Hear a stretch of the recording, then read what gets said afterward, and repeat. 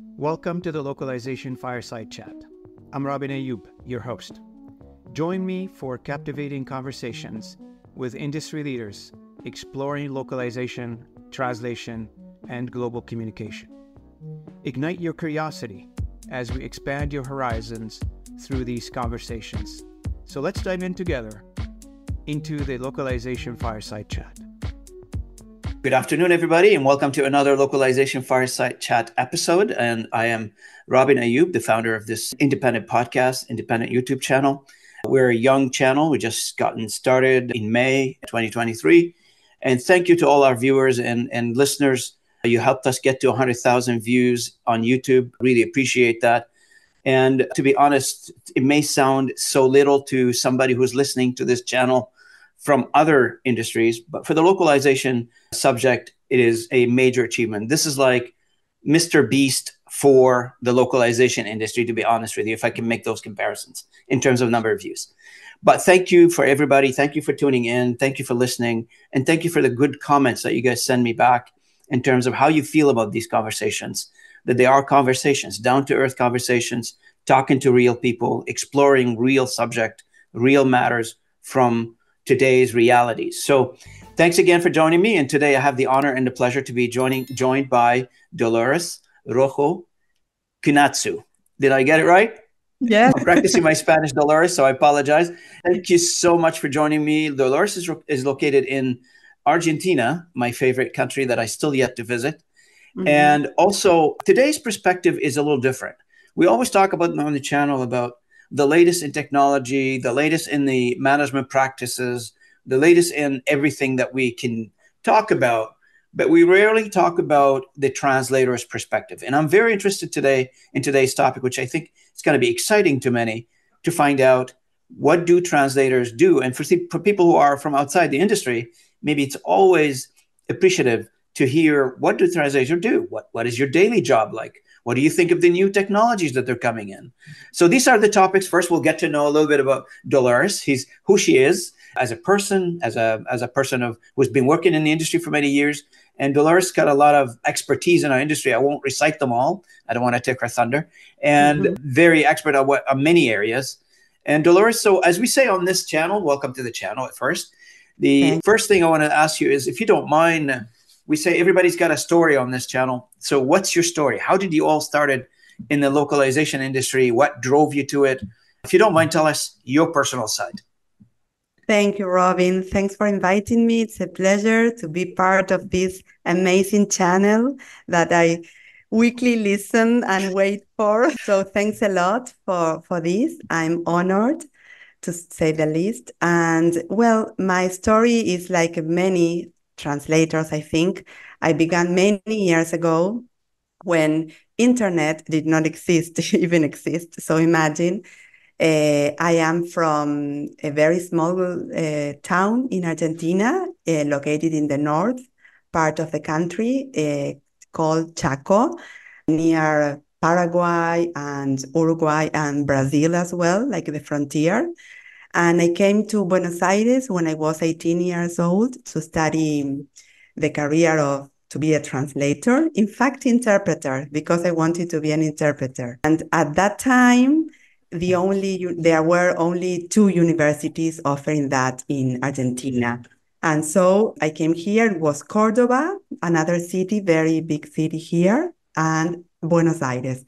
And because I don't know, my family knew many people in Buenos Aires, and it was very far away, and you are the, going alone and all that. That when you are beginning, sometimes your parents are afraid of that you're going to the jungle, and it was like another city. I came here to a boarding house. I stayed um, there for a year. Then I rented some apartments with different friends and I began my studies and I loved them from the very beginning, but found that interpreting was like too, uh, not, I don't know, I was very panicked, you know, when I had to speak like now. so excuse my accent and all that because I, my work okay. is mainly writing. You have no accent. Speaking. so I'm not very good at this. And well, I began, I finished my studies and I was supposed to go back home, as I said. I graduate and go back. And well, I never return. I stayed here working at that time for international companies uh, located in Buenos Aires. And for 10 years, I worked in house like Coca Cola, Pfizer, big companies, working as a translator and uh, perhaps proofreader because most of the managers or people I work for knew the, the language very well, but I had to polish that. And then when I got married and I have children, I said, why don't I, I, uh, you work, I've worked fully as a freelance translator. That's why I studied this. So there, after 10 years in-house, I began being a freelancer. That was 18 years ago. So imagine. And well, I found my very small company, Lift Value Translations, where I offer different kind of services to global translation agencies all over the world, mainly in marketing, corporate communications, and um, writing. In a nutshell, I think that's it. I continue working with all the transformation that you know our industry has suffered all over the way but always uh, positive that I think everything is to move us forward and to be more in the business. let's say. That's right. That's right. Now you mentioned, you know, I'm I'm always interested. Like, so when you go to university and study to be translator, for those who don't know and listening to us today on this episode, in order for you to become a translator, it is not just sufficient to be able to speak the language or know the language or second language in this case. Mm-hmm. You have to be able to say, have the right education, the right expertise, the right experience to become a translator. and it all starts with getting a linguistic degree from a recognizable university and graduate in that in that bachelor degree or master's. Some people continue to do in their masters. I've, I've met many people they do their PhD in linguistics as well. So, in your case, so which university do you study in? And how did you find the education process? If you can you know if you can tell us a little bit about that it would be great. Yes of course. Well uh, i didn't go to a bilingual school during my elementary and high school uh, education. So when i came here as you said my other you know my colleagues or companions were perhaps from very good schools in buenos aires which offered a, a bilingual education. So i had to sit for an exam to enter the university. I went to the USAL, Universidad del Salvador, which was at that time the, the first one uh, that offered uh, interpretation, uh, translation. I'm a legal translator, like I have a, a, a seal and a signature. And you also have the technical and scientific translation specialty, let's say and well to i was very afraid because i think perhaps i don't you know i, I i'm not good. I, I don't approve the introductory course. So i sit also uh, in other other um, uh, institute. But fortunately i was able to to begin at this university that i wanted to. And it was a four it was a four years study course um, it was fully dedicated. You know, you have to study a lot, practice a lot, and of course, you have to master the language, both the languages. Yeah, I mean, your mother tongue and the second language. In my case, English. Perhaps you also can do it in French, Italian, German. And then uh, you have to practice and then go out to the world. And I also have a master degree from the same university, but in marketing, not in translation. Oh, you have it in marketing? Yes. You have another degree in marketing? Marketing. Very, you bring a very good, important topic because, you know, having a degree in translation or in linguistic, you're absolutely correct. Sometimes it's not enough because some of the subject or some of the customers that you're going to be working with or some of the employers that are going to be hiring you they probably require a little bit more deeper expertise in that topic, whatever that topic is marketing, health sciences, mechanical, etc. It helps tremendously if you have that knowledge, expertise, what you're going to be translating. Because even if we don't become a translator one day and you're only speaking unilingual, some of the topics are very difficult to understand, even for those who are not in the language business. So if let's say you know you've studied all your life in English and you only read literatures and somebody handed you over a user manual for a complex machinery. You're going to look at it and say, well, that sounds Chinese to me. Even though I speak English, I don't understand what it's saying. Sure. That's right, because some of those manuals are meant to be read by engineers, for instance. And if the engineer can relate to the language, of course, they understand what it say. But if for the normal person, they cannot. And the same goes for translators, where there are translators, correct me if I'm wrong, there are translators that can translate into general topics. But those translators, they're required to do in depth translation on in depth topics.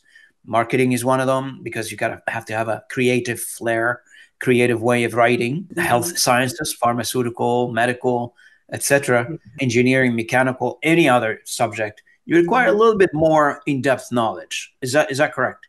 Sure. In fact, I, I cannot translate a technical manual if you ask me to, because it's I do like many employee manuals, for example, like corporate manuals, corporate uh, communications, but not the technical one because I am not expert on that. And there's a lot of time that we have to invest in terminology management, terminology databases. Of course, mm-hmm. nowadays everything is perhaps easier or not that complex that it used to be thanks to technology, translation memories, AI, and all that. But even even even though that, you have to know if it's correct. So you have to know the field that you are translating to. In my case, I only you can do general translation, but not very specific. If it's too technical, like for example, as you said, a machine, it's really Chinese to me. I cannot do it. So I refer to a friend who is an expert on that, but I concentrate on the fields that I am that I master and yeah, that I can understand. Of course.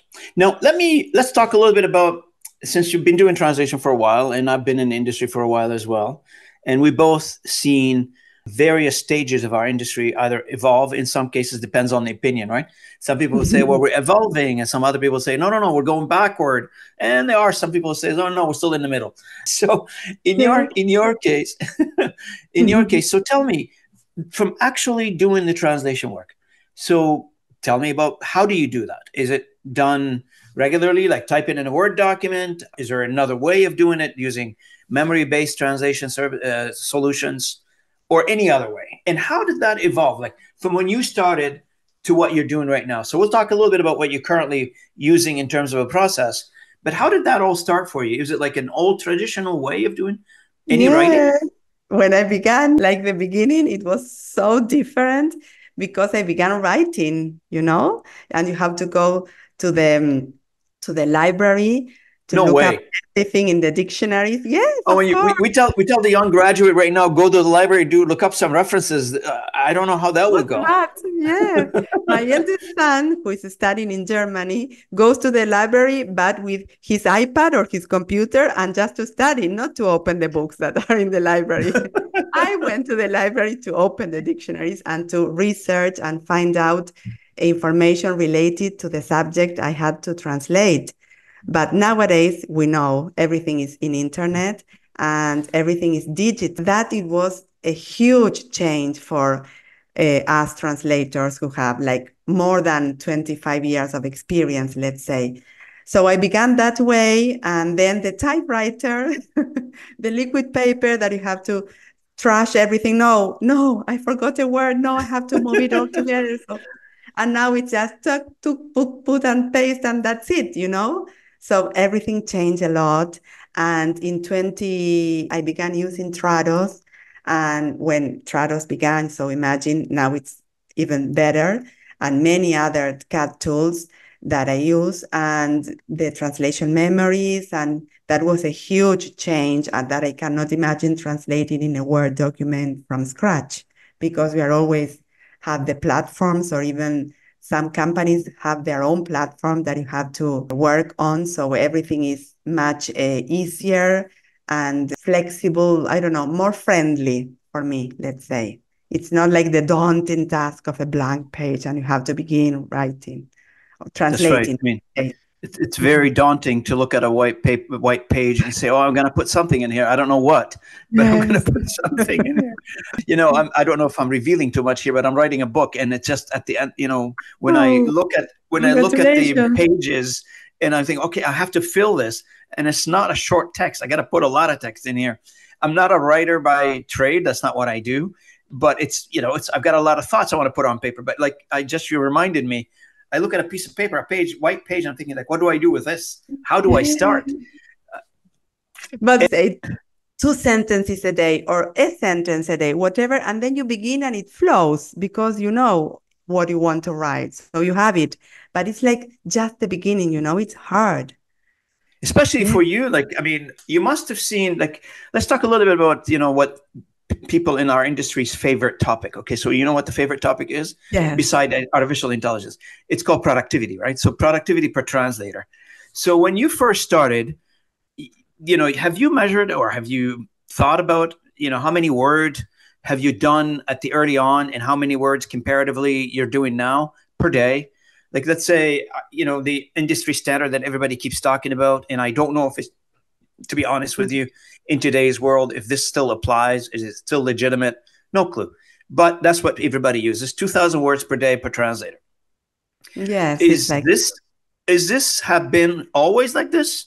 And have you experienced this and has that evolved over time and what is it now yes i think that evolved a lot uh, because sometimes you are not even asked to do a translation. Sometimes you have to post edit like a result of machine translation. So the productivity is different and you are supposed to do it much faster because the the product is better. You know, it's not like at the beginning that it was a disaster and say, well, no, the machines will never replace us because this is a disaster. No, that changed a lot and we know that. And it will continue changing i think. I'm going to ask you about this one in a second but i'm going to talk a little bit deeper into that because that's what everybody says oh machine translation sucks. But we'll talk about that in a second. Continue on with the productivity.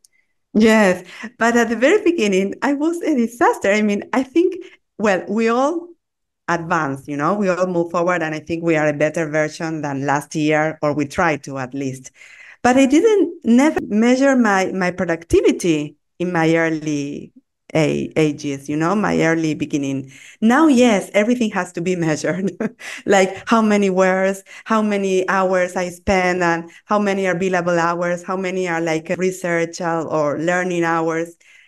And it, it didn't used to be like that, at least for me. Now I think everything is more measured or in a way structured. How was it before? Like when somebody gives you something to translate early on in your career, how did you get paid? Is it per page? Yeah. Is it per mm, no, usually per word because I mostly work for agencies. I have some direct local clients, but my big clients are from agencies and they are the ones who which usually, you know, set the the rhythm. I mean, I need this project for next week and it's that how this volume and you have to do it with this perhaps team of people that you are going to work together and mm-hmm. usually it was 2000 words per day or a little more, depending on the subject. Or perhaps you do it uh, faster because you are very familiar with the subject. So it's easier for you. And sometimes not because the text is too complex and you have to do more research. And, you know, it's, but usually that. But for us, freelance translators, our agency is the one in charge of, in a way, giving us the directives on how to proceed. Yeah, so they tell you, for instance, in your world, we want you to do the following, and you have to either yeah. accept or don't or don't accept. Exactly, and the budget is this, and yeah. it's this. You know, so it varies. You know, from depending on the agency, on on on the expertise or the person, but in general, it's that way. And if you have a dear client, you are the one in charge, and you say, well, you need this. For example, in my case, personal documents yeah. that people need for citizenship or they are going to study abroad and they have to legalize, certify the, the document.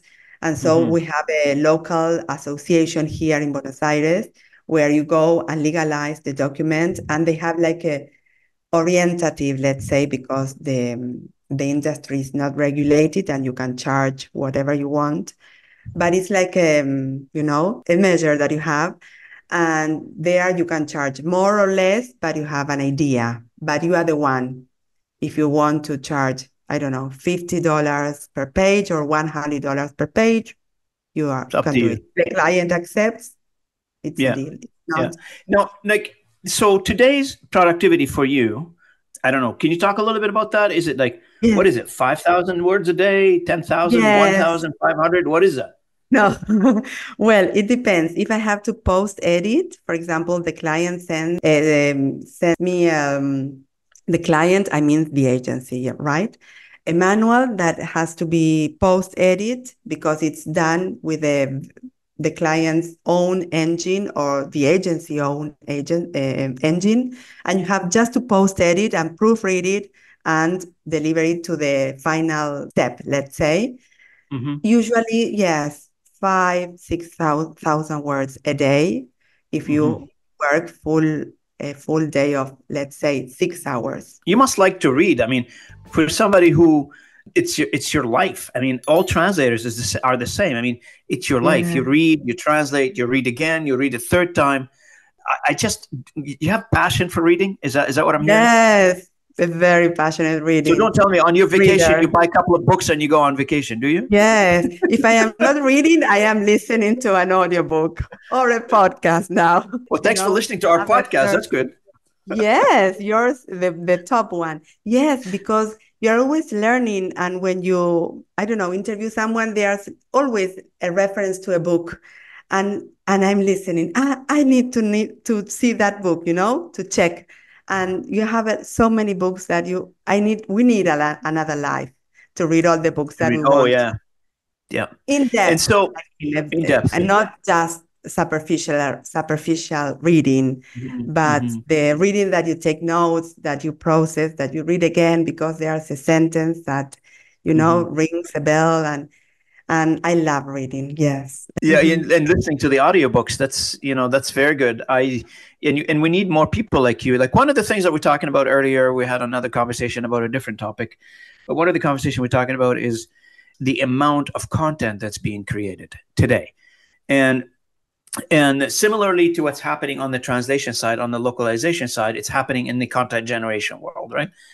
So in the in AI is affecting everybody's life. We think because we're in the localization business, you know, the world revolves around what we do, but it isn't.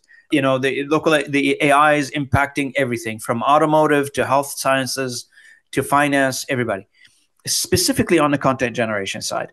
And that AI involvement in content generation have quadruple if it's not like the 10x multiplier on the content creation. Why? Because it's easier now you can make content much easier and good content much easier than you've done before. I know for myself, like because we all do a million things at the same time, and I have like hundreds and thousands of email to reply to. Sometimes, you know, I'm either typing too short, too little, not watching what I'm typing. Sometimes I make mistakes when I'm typing, but Gen AI helped me, help me do the messages better. It didn't take me out of the equation. I'm still involved. I'm still writing the the messages, but I can write them more effectively now. I can write them without mistakes, and I write and I can write many of them. So that in, that that increase of content generation, Dolores, what end up happening? Now we need to take that content and translate it. And unfortunately, we don't have enough people to do that. So we did not have enough people before AI gotten into the content generation business. And now we have less in proportion to the amount of content being generated. So mm-hmm the gap between the amount of people we have to translate, with all due respect to everybody, and the amount of people that needs to be translated, it had to be filled with some tools, some technology to assist. Yeah. Because eventually, from a uh, geopolitical perspective, from an economic perspective, whichever measurement, content cannot be constricted to one d- group of demographics. It's content. You know, it has to find its way to other demographics. Nobody can say, well, I published a book in Argentina, and as somebody who is in New York who doesn't read Spanish says, well, I don't know.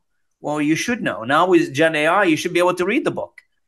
Yes, so right. The, the question is around is the the amount of content and the gap between what can we do using you know translators such as yourself versus machine translation and that post editing, that bridging of the gap. And that's why that whole discussion around how is AI impacting our business, right? So, any comments on what I just said? Yes, I think it's so true because some people some clients, in fact, said, uh, "Now, what are you going to do? Because you are a translator. Are you looking for another job? Because you will have no more job. You know, everything's done by AI, and and no need to to to your work. You know, your profession is out of the out of out of the world. And I, and, no, and I don't think so. I think that as you said post edit is very good. The um, post edit production from AI from the machine.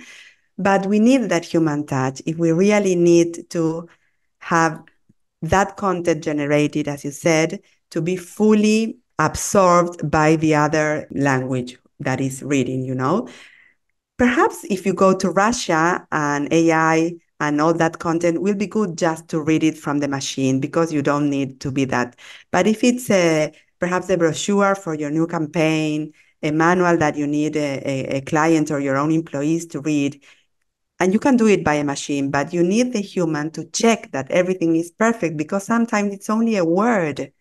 But that word made the whole difference in the in the paragraph or or the, the subject that you are writing, you know. So it's your image, your your own brand that is in at stake. So I think we will be uh, needed the human translator. Yeah. And so but- so as many people are saying Dolores right now, they're saying we are in an era of trust. Basically in regards to machine translation that is, right? So we are saying things like do I trust?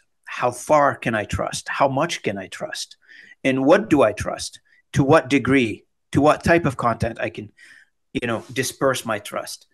So, in your opinion, and there are many translation machine translation engines out there, have you tried them? Which one is your favorite and why? Yes, uh, yes, we have to trust. For us humans, trust is difficult. I love the word.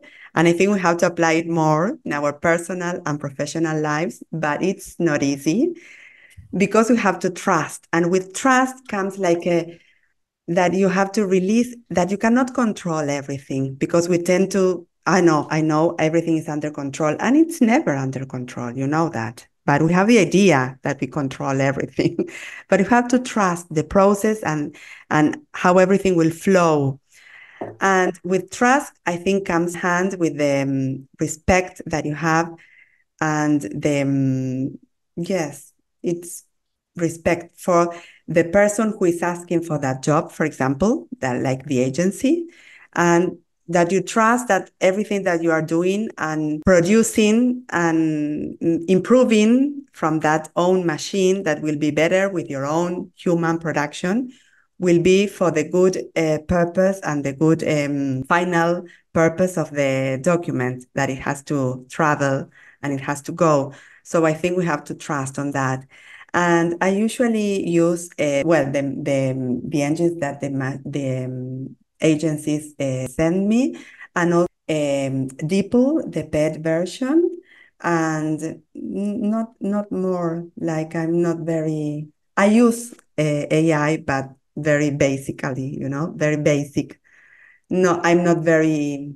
Ex- I'm not an expert on that. No, I'm just interested in your perspective on, you know, which machine translation, from a translator perspective, you would trust more. If you think, you know, like think think about it, like somebody sends you something to translate, and they tell you, oh, this is coming from whatever machine translation. I don't want to name anybody here, and you think, oh, this is going to take me a long lot of time to fix. So I yeah. want to make sure I, I, allocate enough time for it. Or this, t- oh, this is coming from this engine. That's going to be easy. It's going to be done very quickly. Uh, yeah. Do you have have you have you come through that? Have you come across this?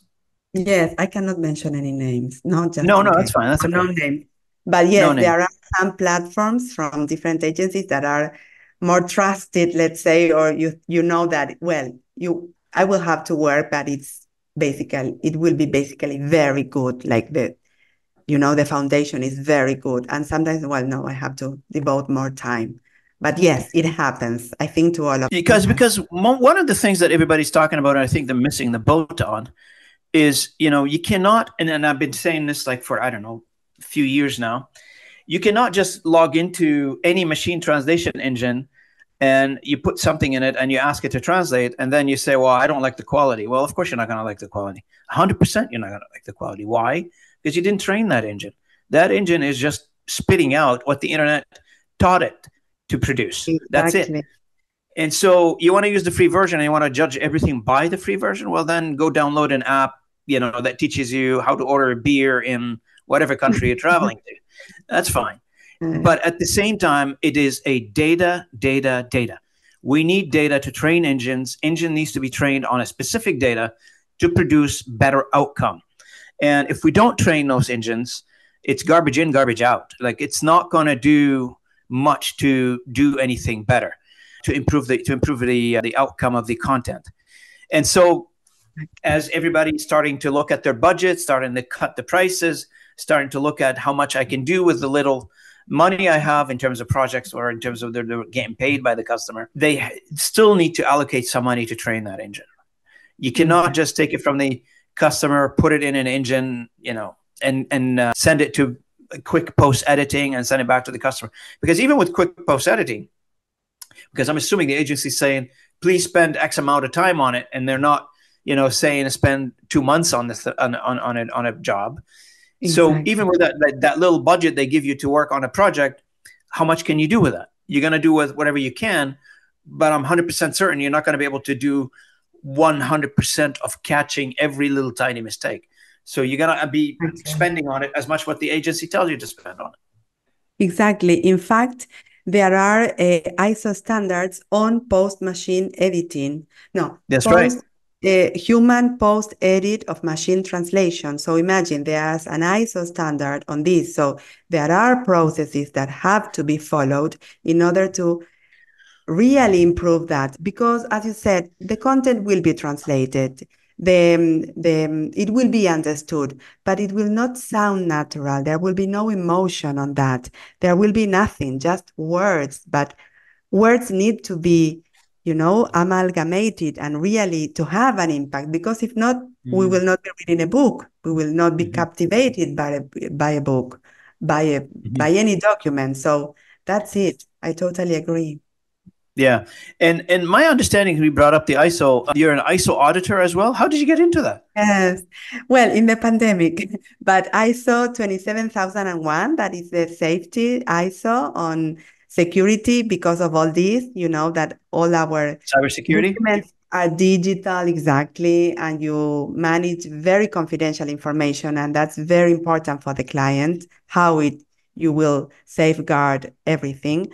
So I did yes the course in Bureau Veritas, that it's a national international company, and I am an auditor. But just to know more in detail the, the, the standard and how to apply it in my own processes for the security and, as you said, trust and confidentiality of my client. So when you do ISO auditing, who are you doing this for? Your enterprise customer, your uh, agencies? Who do you provide the yes. service to? Usually, usually my own direct clients that ask for that, you know, how we are going to to deal with this, perhaps uh, documents in paper that are not digital sometimes, or balance sheets or uh, very important information. So I like uh, have a checklist on all the processes, how we're going to deal, who are who is in charge of every part, like a, like a production to have the client safe and trusted that everything will be followed according to the standard.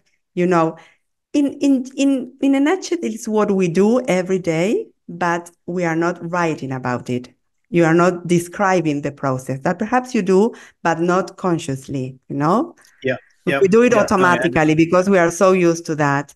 But when you take into account and you are accountable for all the things that you are doing, you pay more more attention and you will have a better final product in general. Absolutely. And so, from your perspective, how do you view that whole conversation about AI? Are you which side are you on? Good, bad, mm. or ugly? I'm always with the good one. I have to be positive. No, but to tell you the truth, as we were talking at the beginning, I am I am positive. I think in my case, I experienced so many changes in our profession from the very beginning till today. So imagine when I began and now.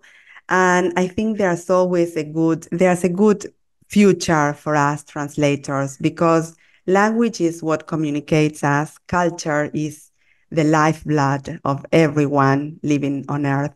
So I think we will need the, the aid of expert or professional linguists, translators, interpreters, localizers, copywriters all over the world to really transmit that message, not with the aid of the computer, the machines, the AI, mm-hmm. technology, and all that's yet to come in our lives, but with like and more tools, more tools to our toolkit to ha- offer a better service, to be more productive, perhaps less, less is more, you know, you will spend less time, but perhaps you have more or add of other things. But I think it's a bright future for us. If we are willing to learn and you know take that train and not be waiting for no this will disappear. Absolutely correct. You hit the nail on the head is the learning part right? So you know you've you've seen it i've seen it and any generation you know will talk about the same thing that technology changes. Things change in our lives. I mean, you've seen it from doing research in a in a library to you know pressing a button on the internet and finding all the information you need. And similarly with AI, the common wisdom is that everybody is talking about it is not a threat to the jobs of the translator or the interpreters. However, the interpreter and the transit, translators need to learn AI to continue doing their job, to continue being a differentiator, to continue adopting these tools or adapting to these tools in their jobs. If you do not learn these tools, it's like not learning how to use Microsoft Word. Anybody in the job today who do not use know how to use Microsoft Word, either they're on their way out of the business, that means they're retiring, or they're not getting enough jobs to get, sustain them because everything in the world runs now. You receive Word documents all the time or PDF documents, whatever. But the idea is that like any technology, you either learn it or you're not going to find jobs in it. So exactly. if we don't learn it, we don't embrace it, we don't take the time to figure it out. How do I employ this on my in my job? Because one of the podcasts I'm publishing today, I just finished mm. editing mm. just before this call, wow. is about using AI in sales tools.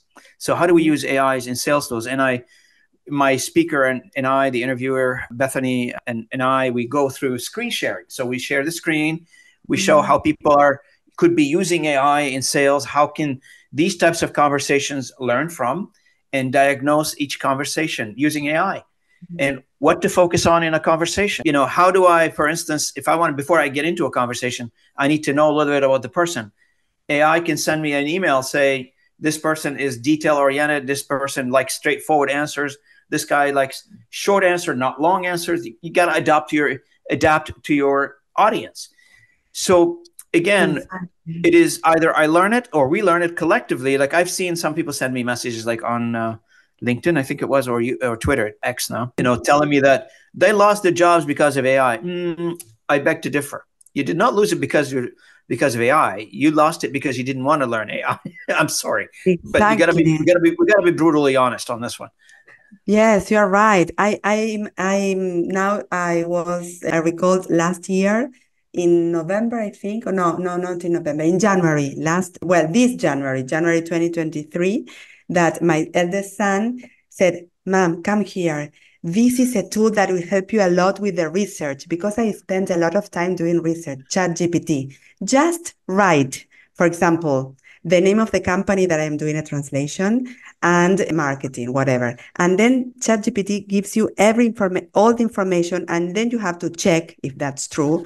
But it really helps a lot on productivity side. And it's a tool because it helps me to move faster, as you said. But it will not replace me. But there are translators no. that said, no, I will never use that. No, that's like, no, no, so, I mean it's I like know. it's becoming like it's more like uh, I don't know what it is, but I feel like there are some association or there are some jurisdictions around the world where they're completely against machine translation yeah. and AI. And I I'm not going to name any names, but there was a conference not too long ago where that has been mentioned. And you know, no, we're not going to push AI. And I think that was the comment. And everybody in the audience jumped up and started clapping I think this is collectively head in the sand kind of a kind of an event. Okay, you don't have to, but some other people will, and you'll be left behind. I'm sorry to tell you that. yes, we have to, as you said, face the challenge because we cannot hide. It's already Yeah. here. It's among us. We have to embrace right. it, but positively and with all our knowledge and eager with our eagerness to keep on learning. Because as you said, I have to read more books on this, listen to more experts talking about this. All your conversations help a lot. Everything. That's right. So, toward the end of our conversation, and I don't want to keep you on the phone too long. I really appreciate you joining me today. It's a pleasure. So lovely of you to take to take some time to be with me. I really appreciate it. Um, appreciate any last comments or thoughts you like to share? Well, I think translation and well, linguistic, the profession is marvelous. I was always very grateful for having the opportunity of earning my living doing what I love the most. And I keep on learning and, you know, new things, new everything every single day of my life. And I love it because I think we have to be like that, like open-minded and Mhm. despite all the challenges that we have always facing, but it's life, you know, Mhm. I think it's good to keep on this track and I will do it. I will not retire, as I said to my family. Don't. When are you going to retire? Never. We need more people like you. Don't retire. we will not because we do it because we need it, of course, but we love it because we You love what you do. Yes, I think it we That's do that's the difference. service That's to the community, a service, but with with love and with passion, you know? Absolutely, absolutely. Good. And you know that's the differentiator between a job and a career, something that you love to do without any getting paid for it. I, I guess that's the test. Would you do what you do if somebody did not pay you for it? And if the answer is yes, that means you're doing the job that you love to do. Having to get paid for it, of course, it affords a life and affords a lot of other things. So that's perfect. Yeah. That's a perfect marriage. So Thank thanks, you. thank you. I want to thank you, Dolores, uh, for joining me. I really appreciate it uh, today. Thank you for your time. Uh, much appreciated. And for our audience, uh, if you want to get to know a little bit about Dolores or you want to connect with Dolores, Dolores Rojo Guiñazú. And Dolores is on LinkedIn. Look her up and chat with Dolores. She, she's very welcoming. I know I've known uh, Dolores like for the past, what is it, a couple of years now? We've chatted on LinkedIn. Yeah, yes. And, and I, and I, you know, we became friends, and off you go. Here we are doing a podcast Mhm. together. I really appreciate it. yeah, yeah, thanks to you for this opportunity. I'm honored. And I really love everything that you shared on social media and now this channel that you were congrats begin and continue doing it because it's very important for all of us all over the world that we listen to you. I mean, not only in Canada, in US, in Europe, everywhere in Latin America. And I think it's so important to to broaden, you know, the atmosphere because you have so many different people that interview, many perspectives, and it's huge. Yeah, absolutely. I mean, and, and and it's good for me to get to know different angle on the same topic, and that's why not necessarily just talk to CEOs of companies or you know owners of companies or you know technologies, etc. It's very important to talk to individuals such as yourself, translators, project manager, desktop publishers. They're all invited to speak on the channel because they all constitute a pieces of the puzzle of what make localization localization industry to be honest with you you know an owner of the company does not exist on their own they need people to help them do the job a Yeah. ceo of a company will not be able to do a ceo's job unless they have people to help them do their job or become a company to begin with. So no you bring up a very good point. I i love i love that broad horizon conversation that this platform is allowing me to do. And uh, you're welcome to this channel anytime. I'd love to have you back you, and Robin. maybe we'll talk about a different topic but thank you so much Yes. appreciate it. Thanks. And you are for sure definitely a creator. I, I read that you have all the Christmas lights for for, Oh, for yeah, did you see that? now. yes. But you keep on improving. This is amazing. That's why you are now a leader, a creator. You took take into account everyone. the, Amazing. the i don't know did you see the uh, i'm just i'm still recording here where this is fine these did you see the uh, colombian dance party that they came in in front of the house and they did a a christmas dance party right in front of the house. They asked my, my wife for mm. permission if they can do that. And we said yes. And it's it's a hit on instagram again. When I go to Toronto, I have to go like pre-Christmas, let's say. Or how long will oh you i would love to show you around. I would love to show you the house. It's absolutely great. But my wife and i would love to have you Thanks a lot. How long do you like uh, stay with all the lights after Christmas? So like the 15th of December. Uh, sorry, 15th of uh, January. January. Wow. Amazing. Yeah. So beautiful. Congratulations. And the creation, you know, you are very creative. Robin, no, I, I re- this part I really like because we do it ourselves. Like my wife and I do it ourselves. We create a mm-hmm. lot of the ornaments ourselves. We make them in the in the house. Some of them we buy, obviously, not all, but some of them we make ourselves. So it's wow. it's it's it's my it's my joy. I really enjoy doing that. But thank you again. Thanks. I know. thank you again for being part of this. I really appreciate it for our audience. Thank you again for listening in. I really appreciate you tuning in and and and bringing us to your world. I really appreciate that from you.